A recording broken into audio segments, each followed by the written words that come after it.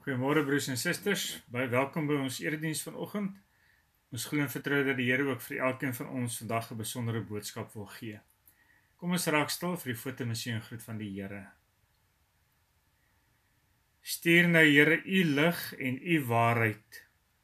Dat dit ons lei en ons bring na u heilige berg na u woning. Gemeente genade en vrede vir u van God ons se Vader van Jesus Christus ons Here en van die Heilige Gees. Amen. Geliefdes, ons skriflesing vanoggend is uit die Nuwe Testament uit die boek Galasiërs. Galasiërs hoofstuk 3 vanaf vers 15 tot en met vers 29. Dit gaan hier vandag oor die verbond en beloftes van God met die mens. Kom ons lees saam met Galasiërs 3 vanaf vers 15.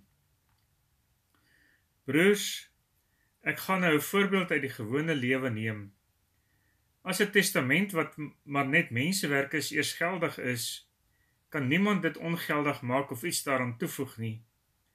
God het sy beloftes aan Abraham en aan sy nakommeling gegee. Daar staan nie aan nakommelinge meer as een nie, maar aan jou nakommeling, net een en hierdie nakomeling is Christus. Hiermee wil ek dit sê. God het 'n verbond met Abraham gesluit en dit toe al geldig gemaak. Die wet wat eers 430 jaar later gekom het, kan nie hierdie verbond ongeldig maak sodat God se beloftes aan Abraham nie meer sou geld nie. As 'n mens dit wat beloof is kry op grond van die onderhouding van die wet van Moses, kry jy dit nie meer op grond van die belofte nie. En God het sy genade aan Abraham juis deur 'n belofte toegesê. Watter doel dien die wet dan? Dit is later bygevoeg as gevolg van die sonde en dit is bedoel vir die tyd totdat die nakommeling op wie die belofte betrekking het sou kom. Engele het die wet deur middel van 'n tussenganger aan die volk gegee. Maar as daar net een is wat handel is 'n tussenganger nie nodig nie en God is net een. Wil dit nou sê dat die wet van Moses in stryd is met die beloftes van God? Beslis nie. As 'n wet gegee was wat in staat was om die ware lewe te skenk, sou 'n mens inderdaad vrygespreek kon word op grond daarvan dat hy die wet onderhou. Maar volgens die skrif is die hele wêreld vasgevang in die greep van die sonde. Die belofte word dus vir die gelowiges vervul alleen op grond van die geloof in Jesus Christus.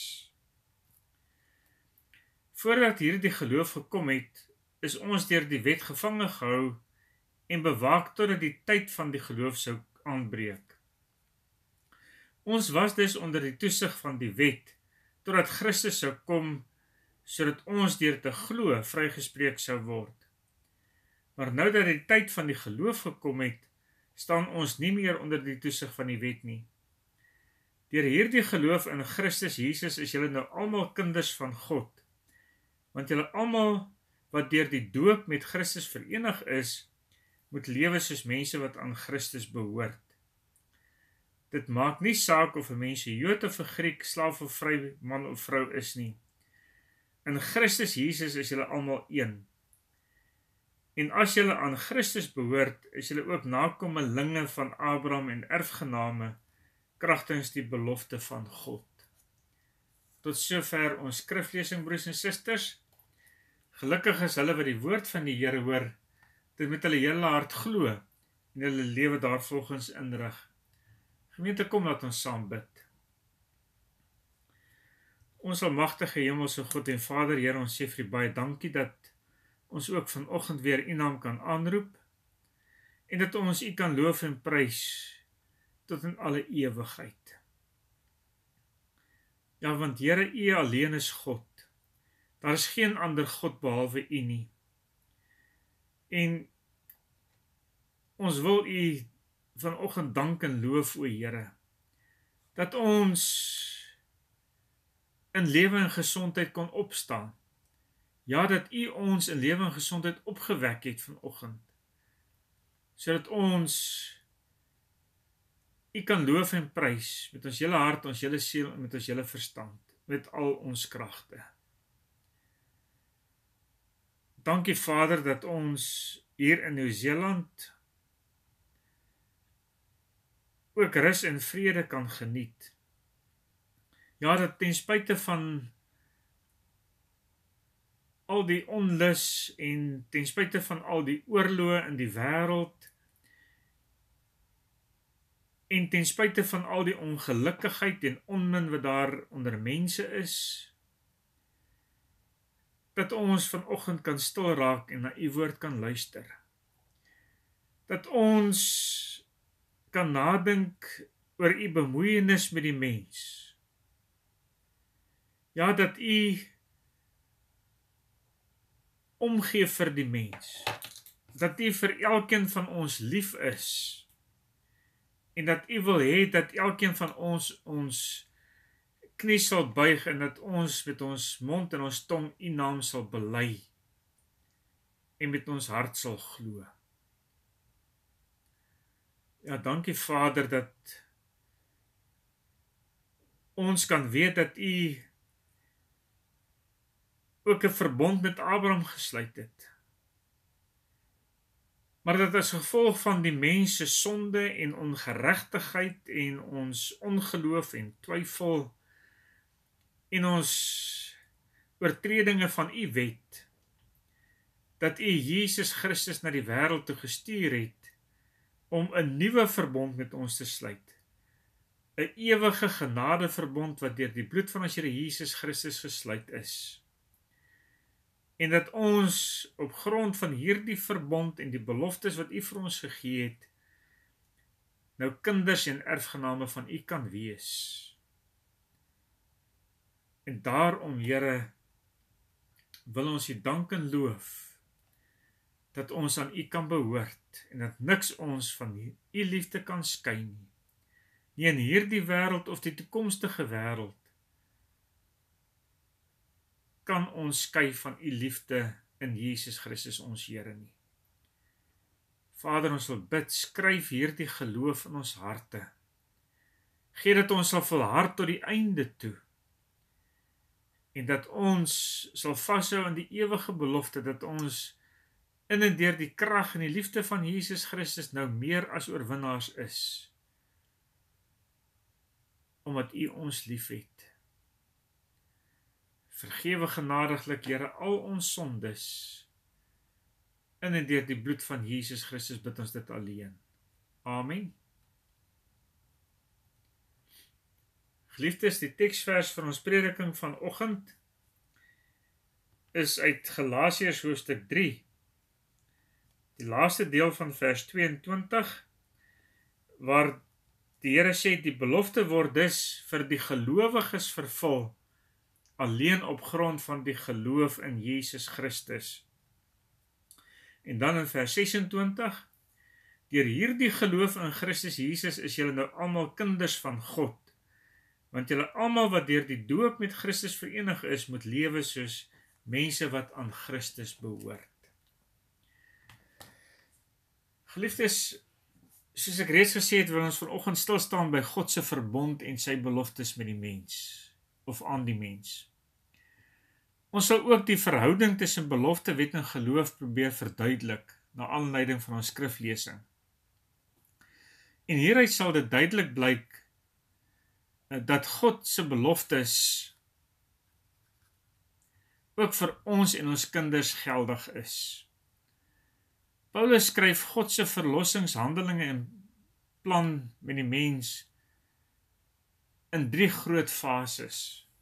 Ja, hy beskryf dit vir ons in drie groot periodes. Uh broers en susters. Dit is eerstens die uh, die periode van die beloftes van God met Abraham, dan die periode van die wet en dan die laaste periode is die periode van die geloof in Jesus Christus. En hieruit sal ons ook kan sien wat die verhouding is tussen belofte, wet en geloof. Gemeente, kom ons gaan kyk na elkeen van hierdie periodes. Die eerste periode is die beloftes van God aan Abraham. God het uit genade en groot barmhartigheid hierdie een mens uitverkies en die verbond met hom gesluit en aan hom sy beloftes gegee. Ja, Abraham sal die beloofde land ontvang. Hy sal 'n groot nageslag hê en hy sal ook die vader van baie nasies genoem word. Dit is die eerste periode, die beloftes van God aan Abraham. Die tweede periode is die periode van die wet. Die wet volg op hierdie periode van die belofte en het 430 jaar na die belofte gekom. Soos wat Paulus vir ons in Galasiërs beskryf het in vers 17.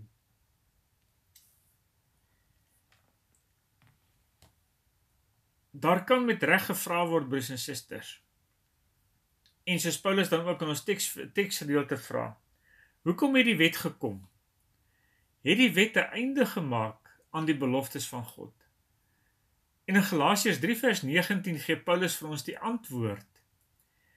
Die wet het gekom as gevolg van die oortredinge en die oortredings of sonde teen die verbond van God en sy beloftes. Die mense wat onder die wet gestaan het, is onder die bewaring van die wet geplaas. Die wet kan dus ook die tugmeester na Christus uh, genoem word. Ja broers en susters, die wet het gekom as gevolg van die die sonde van die mensdom, ons ongehoorsaamheid aan die woord van God en sy beloftes aan Abraham. En dit bring ons nou by die derde periode.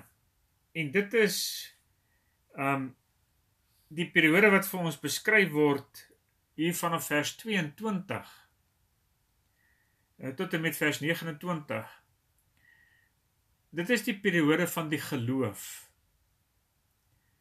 As ons in ons teksverse vers 22 en 26 gelees het. Nou dat die geloof gekom het, sê Paulus is ons nie meer onder die wet nie. Christus het gekom as gevolg van ons oortredings en ons sondes. Hy het gekom en ter wille van ons versoening bewerk met God. Hy het gekom ter wille van ons, ter wille van ons sonde. En daarom is ons nie meer onder die toesig van die wet nie. Ja, deur die bloed van Christus het God ons gereinig van ons sonde en ongehoorsaamheid en ons ongeregtigheid. Christus is die tugmeester en die weg na God toe. En in Christus het God dus 'n ewige genade verbond met ons gesluit. Dit is dus duidelik broers en susters uit hierdie oorsig oor die drie breë periodes wat vir ons in Galasiërs 3 vers 15 tot 29 beskryf word. Um dit is duidelik wat die verband is tussen 'n uh, belofte wet en die geloof. En hierdie verhouding kan gesien word as 'n oorsaak en gevolg. Die wet het gekom omdat 'n mens omdat die mens God se verbond verbreek het. En dan sê Paulus omdat die wet nie lewend kan maak nie, het Christus gekom. Hy het kom doen wat die wet nie bemagte was om te doen nie. En dit is om ons in die regte verhouding met God te stel om ons te red deur die geloof alleen. En deur hierdie geloof alleen broers en susters het God ons deel gegee aan die opstanding uit die dood. Nee, meer nog. Deur die geloof in Christus het God vir ons 'n nuwe lewe gegee, nou alreeds. En daarom leef ons nou in die periode van die geloof. Christus is die begin en die einde van hierdie periode. Hierdie periode en die beloftes sal in vervulling gaan aan die einde van die tye met die wederkoms van Jesus Christus. In die beloftes is nie net van toepassing op die periodes van die beloftes van God aan Abraham en die periode van die geloof. Dis net op hierdie twee periodes uh, van toepassing. Die kenmerk van die gelowiges in hierdie periodes is dat ons volhard in die hoop en die vertroue op die beloftes van God. Dat ons volhard in absolute vertroue in God alleen. Want hy alleen is die waarborg van sy woord en van sy beloftes. Dit beteken dat elke gelowige en dis ook ons vandag God se ingryping en wonderwerke in die lewe sal ervaar. Ons moet dieselfde geloof hê as wat Abraham gehad het. En dit is 'n geloof wat volhard ten spyte van ons omstandighede en wat vashou aan die beloftes van God. Ja, Abraham, Christus en ons as gelowiges staan dus op 'n reguit lyn. Dit beteken broers en susters Abraham het God se beloftes ontvang. En hy het met 'n vaste hoop en sekerheid aan hierdie beloftes vasgehou. En hierdie geloof is is hom tot geregtigheid gereken. Hy is in die regte verhouding met God geplaas. Hy het geglo in God wat dooies lewend maak en wat dinge wat nog nie bestaan nie tot tot stand bring deur sy woord. Romeine 4 vers 17. Jesus Christus is die nakomeling van Abraham aan wie die belofte gegee is. Hy het ook die belofte ontvang dat in hom die mense deur die geloof nakomelinge en erfgename van Abraham sal wees. Nakomelinge en erfgename van die beloftes van God. Ja, Christus se dood en opstanding is vir ons dus 'n vervulling van die beloftes van God aan Abraham. En dit bring ons nou by ons die gelowiges. In Christus is ons nakomelinge en erfgename van Abraham. In Christus het ons die beloftes van God ontvang. En die beloftes is dat ons sonde vergewe is. Dat ons deur die geloof geregverdig sal word. En dat God ons ook uit die dood sal laat opstaan, dat hy ons sal lewend maak. En vir ons is die hele evangelie dis 'n belofte van God. Die verkondiging van die verlossing in Christus is in sy totaliteit 'n belofte vir die gelowiges van alle tye. En nou is die vraag broers en susters, hoe kry ons deel aan die beloftes van God? En ook hier gee Paulus in ons skrifgedeelte vir ons 'n duidelike antwoord. God het 'n genadeverbond met ons en ons kinders gesluit in en deur die bloed van Jesus Christus. En deur die doop word ons opgeneem in hierdie genadeverbond en in die kerk. Deur die doop ontvang ons God se beloftes word dit vir ons bevestig deur die teken en die seël van die doop want God is die waarborg daarvan dat ons deur die doop God se beloftes van geregtigheid en opstanding uit die dood ontvang. Ja, die doop verkondig dat die bloed van Christus al ons sondes afgewas het en dat ons nou aan God behoort. En dit, broers en susters, is ons enigste troos en sekerheid en hoop in hierdie lewe en ook in die toekomstige lewe. En dit is dat ons aan God behoort en dat niks ons van sy liefde kan skei nie. Christus se opstanding het vir ons die weg oopgemaak om ook opgewek te word tot 'n nuwe lewe. En ons is in Christus erfgename van die beloftes van God. Naamlik erfgename van die ewige koninkryk. En ons broers en susters moet glo dat hierdie beloftes ook vir ons gegee is. Ons en ons kinders. Ons moet vashou aan die hoop en die beloftes van God. En om te hoop is om te glo, al sien ons nie. Soos Hebreërs 11 vers 1 vir ons dit beskryf. Geloof en hoop dat die onmoontlike in Christus altyd moontlik is en die onsigbare sienlik. Ons moet God se dade en handelinge in ons lewe raak sien. Ons moet met dieselfde geloof en hoop lewe soos Abraham gelewe het. Dan kan ons met troos en sekerheid weet dat God se beloftes ook vir ons in vervulling sal gaan, soos vir Abraham en vir Christus.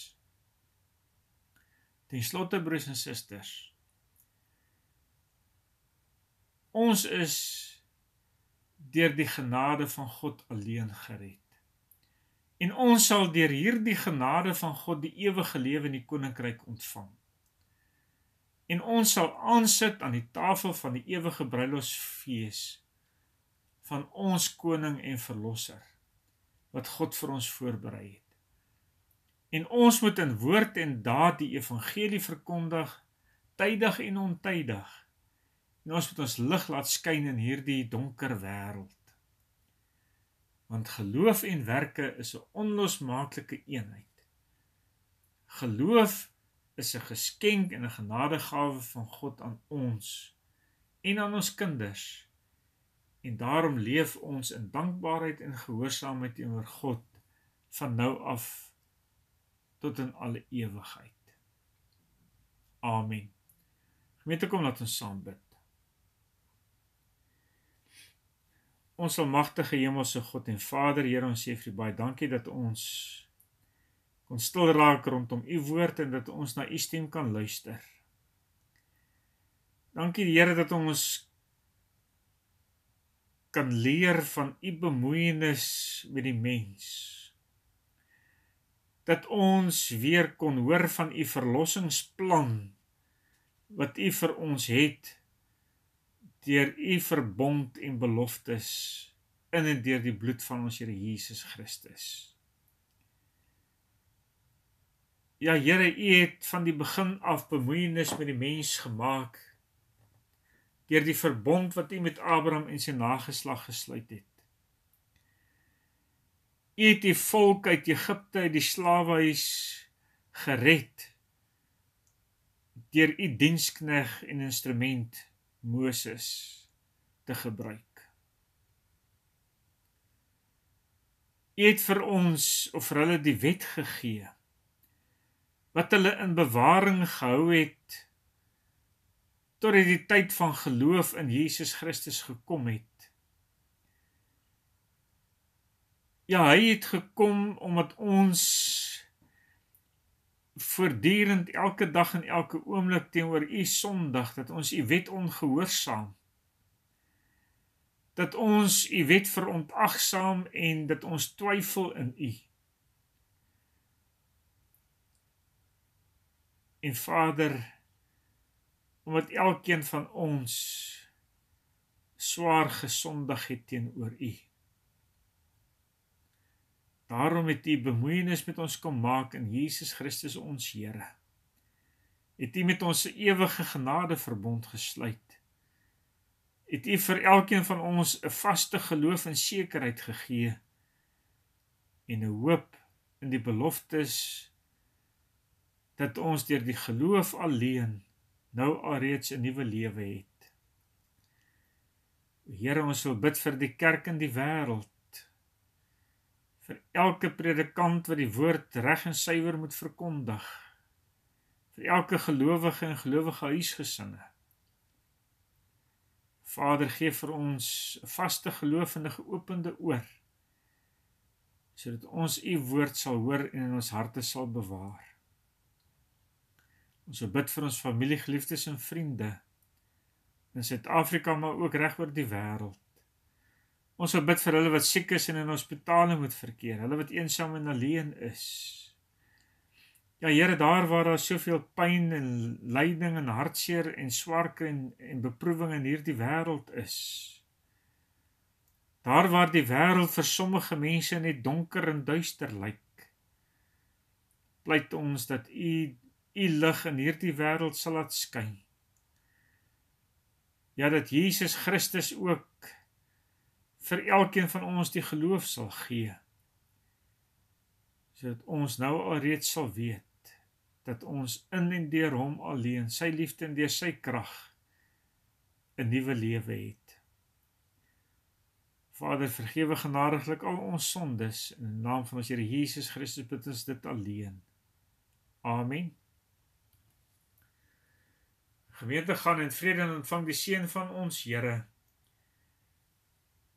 Die Here sal julle seën en julle beskerm. Die Here sal tot julle redding verskyn en julle genadig wees.